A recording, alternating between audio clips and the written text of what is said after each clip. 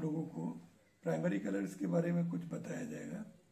इसमें मेन तीन कलर्स होते हैं रेड ब्लू एंड येलो उनको किस तरीके से फॉर्म्स के अंदर यूज़ करना है, उनका कॉम्बिनेशन को किस तरीके से हमें बनाना है, यही सब चीज़ें आपको बताई जाएँगी। कलर प्लेट पे किस तरीके से खोला जाना है। थैंक यू ये रेड कलर है येलो कलर है ये येलो है और ये ब्लू है ये तीन प्राइमरी कलर्स हैं इन कलर्स को इम्प्लीमेंट करने का जो तरीका है, भरने का जो तरीका है, ये किस तरीके से कलर प्लेट पे निकालने चाहिए ताकि स्पॉट नहीं आए किसी तरीके का।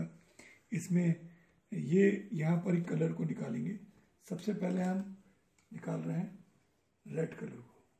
ये देखिए, इसको अच्छी तरीके से हम, ये देखिए, इसको हमने अच्छी तरीके से इसमें निकाला।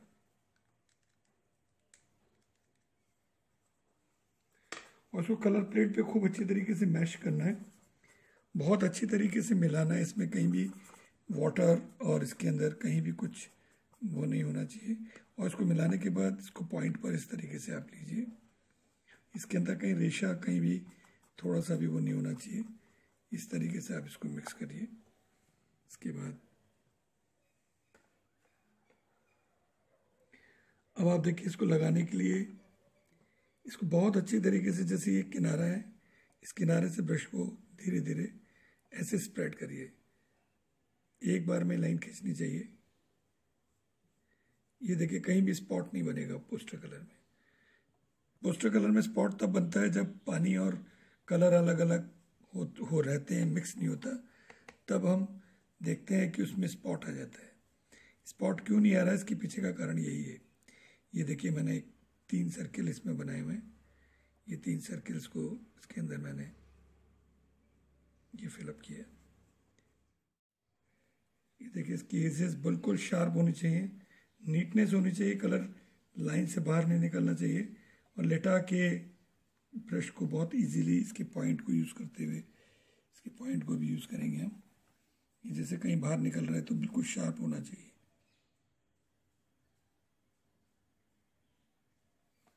ये हो गया रेड कलर कलर को निकालेंगे। बहुत अच्छे तरीके से इसको हम यहाँ पे निकालेंगे।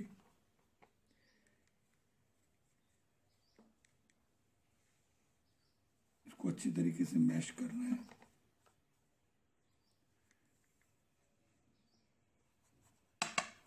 इसको तब तक मैश करना है इसमें रेशा कहीं भी कोई भी ग्लैंड टाइप की कुछ भी नहीं होना चाहिए। और उसको इस तरीके से इस पॉइंट पे लिया। यहाँ पर ब्रश की इसमें बहुत नीटनेस से लगाना है। ये देखिए, ऐसे बिल्कुल सफ़ाई से हाथ कापना नहीं चाहिए। एक बार में ये देखिए आउटलाइन करते हुए देखिए, बिल्कुल शार्प होना चाहिए। लेटा के, इसको लेटा के भी हम ब्रश को चला रहे हैं। देखिए, ये बहुत इंपॉर्टेंट रोल है। और जब उठा रहे हैं तो दोबारा इसको हमको ब्रश को मिक्स करना है। ये देखिए, कहीं भी स्पॉट नहीं आएगा। ये देखिए, कहीं भी कलर फटेगा नहीं। ये कलर को भरने का तरीका मैं आपको बता रहा हूँ। कलर क्यों फटता है? जब इसमें पानी ज़्यादा होता है, या मिक्स नहीं होता। बिल्कुल नीटनेस से देखिए, बिल्कुल सफ़ाई से भरा जा रहा है। कहीं भी स्पॉट नहीं है, कहीं भी इसमें ग्रेन्स नहीं फट रहा है। कहीं भी कलर बाहर नहीं निकल रहा, कहीं बह नहीं रहा ये देखिए किस तरीके से आड़ा टेढ़ा, सीधा। ये इसको अच्छी तरीके से घोटना चाहिए, मैश करना चाहिए कलर प्लेट पे। कलर जितना ज़्यादा मैश होगा, उतना नीटनेस से भरा जाएगा। ये हम क्या करते हैं, कलर निकालते और पानी लगाते यूँ हिलाते इसको पूरी अच्छी तरीके से मिलाइए। काफ़ी देर तक इसको मैश करिए। यही कलर लगाने का तरीका है, राइट। सही तरीका यही है। इसको आप बिल्कुल अच्छी तरीके से प्ले करिए। देखिए अभी कहीं नहीं फैलेगा, देखिए। ये देखिए, मैंने यहाँ लगाया, कहीं नहीं फैला। ये देखिए। कैसे लेटा के चला रहा हूँ? और ये देखिए लाइन येलो के पास कहीं अंदर नहीं जा रही है। ये इंपॉर्टेंट चीज़ है। ब्रश कुछ हैंडलिंग देखिए मेरे। हाथ की हैंडलिंग हैंडलिंग देखिए। ये देखिए, वापस से देखिए। ये कहीं अंदर नहीं जा रहा। एक बार में ही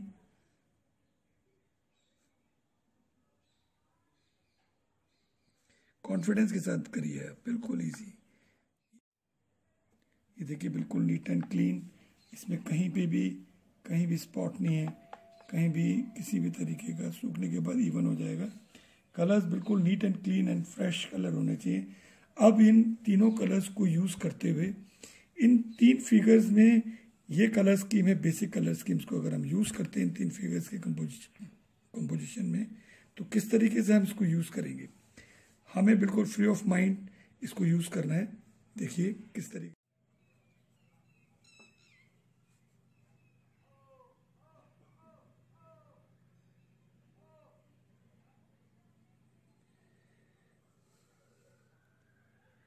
कहीं भी बाहर नहीं निकलना चाहिए कलर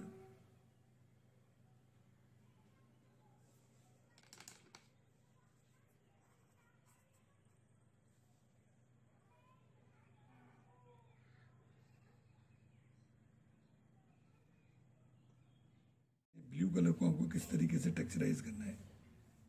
सिंपल प्लेन कलर ही नहीं भरना है। इसमें देखिए शर्ट को हम किस तरीके से विजुलाइज कर रहे हैं। ये देखिए।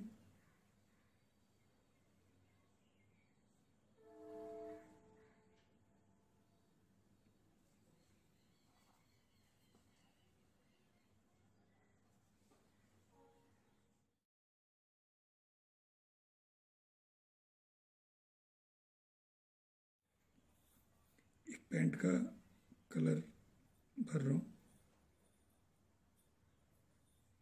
ये कॉम्बिनेशन कंपोजिशन के अंदर हम किस तरीके से जा सकते हैं? कलर हम एक तरफ़ फ्लैट फ्लैट सोचते हैं। किस तरीके से मूवमेंट हम क्रिएट कर सकते हैं कलर्स का? देखिए, जैसे मैंने सर्कल्स में भरा था, उसी तरीके से कहीं कलर नहीं फट रहा है इसके अंदर। ये ब्रश को चलाने का तरीका देखिए, बिल्कुल लेटा के कंफर्टेबली ब्रश को मूव कर रहा हूँ।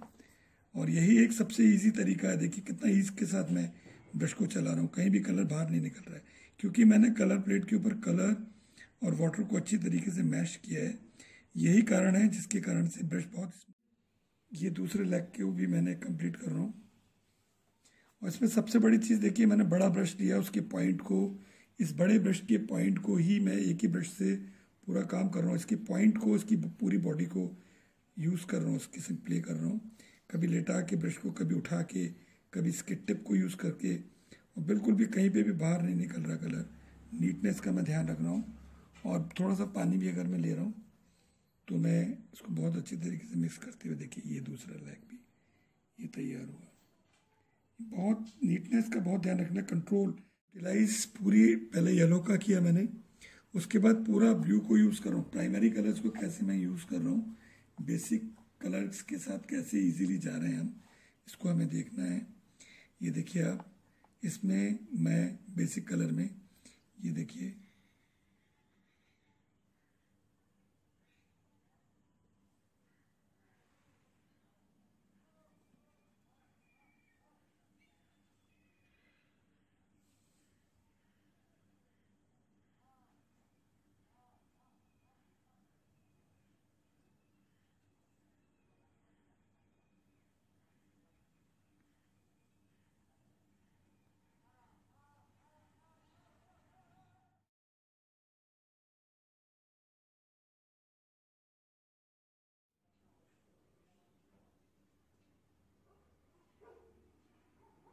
ये देखिए।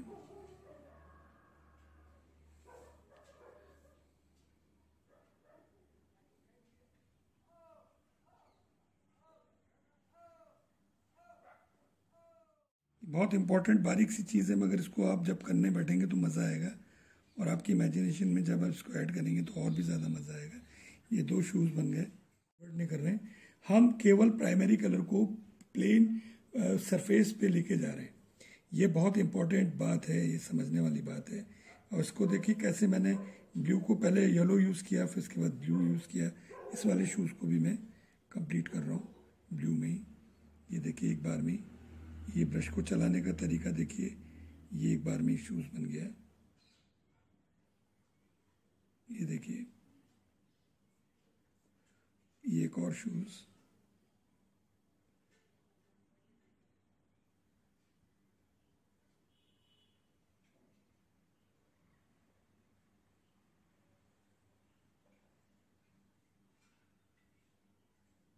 ये हो गया।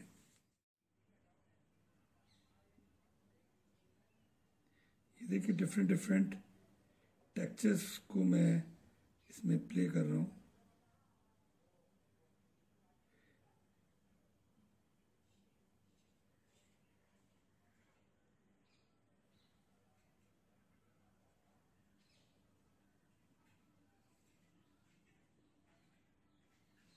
देखिए येलो के ऊपर नहीं चढ़ रहा। कैसे मैं बारीकी से हैंडलिंग देखिए ब्रश की टिप की कैसे हैंडलिंग कर रहा हूँ। ये मोस्ट इंपॉर्टेंट पार्ट है। इसको मैं बहुत अच्छी तरीके से पानी से मैश करता हूँ पहले। ये देखिए, इसको मैंने मैश किया है।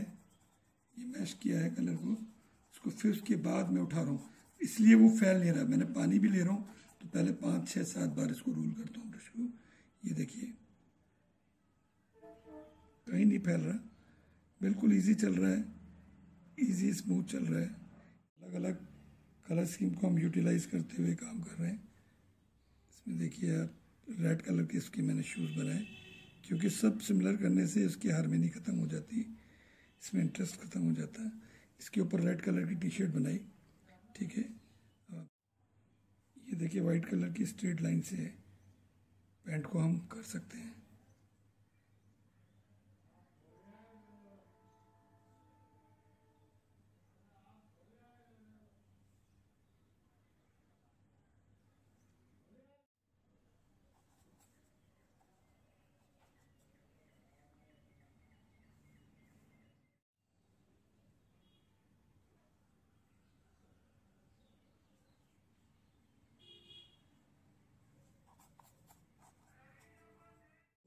कपड़ों को, क्लॉथ को, इसमें हमने किया। अब हेयर्स पे भी हम तीनों बेसिक कलर्स के साथ भी जा सकते हैं। या दो कलर्स को लेके भी हम इसमें ब्लू कलर के भी हेयर्स बना सकते हैं। रेड कलर के भी हेयर्स इसमें हम ड्रॉ कर सकते हैं। इसमें लाइन का टेक्चर्स डॉट का टेक्चर्स को हम इम्प्लीमेंट करके इसमें वाइट को हमने निकाला है। ये एक इंपॉर्टेंट बात है इसकी। इसके देखिए आप, मैं इसके हेयर्स में भी मैं आपको ये बता रहा हूँ। किस तरीके से देखिए आप, ये हेयर्स हैं। ये रेड कलर की मैंने इसके हेयर्स बनाए।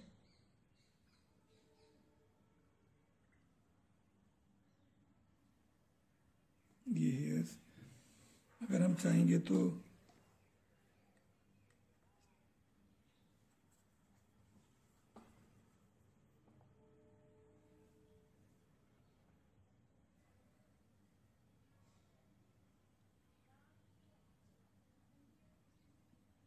ब्लू कलर के हेयर्स भी हम इसमें ये देखिए एक बार में ही।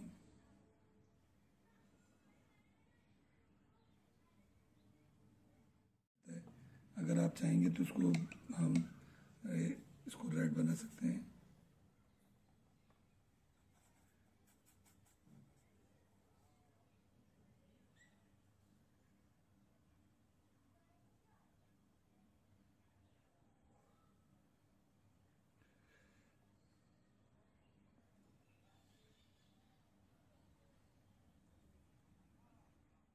ये जो प्राइमरी कलर्स हैं रेड येलो एंड ब्लू इसको हमने किस तरीके से इन फॉर्म्स में इम्प्लीमेंट करके थोड़ा सा इसको मॉडिफाई किया है और इसमें वाइट कलर को इसमें हमने निकाला है।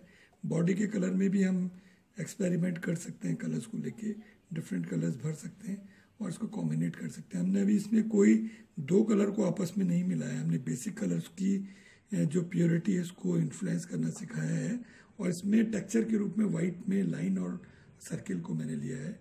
तो आप भी इसमें और भी इनोवेटिव तरीके से सोच सकते हैं। तो ये बेसिक कलर का आज आपका लेसन था। इसको आप बहुत अच्छी तरीके से देखने की कोशिश करिएगा। समझने की कोशिश करिएगा। इसको ब्रश को चलाने का तरीका कलर प्लेट पे कलर को लगाने का तरीका ये इंपॉर्टेंट है। Thank you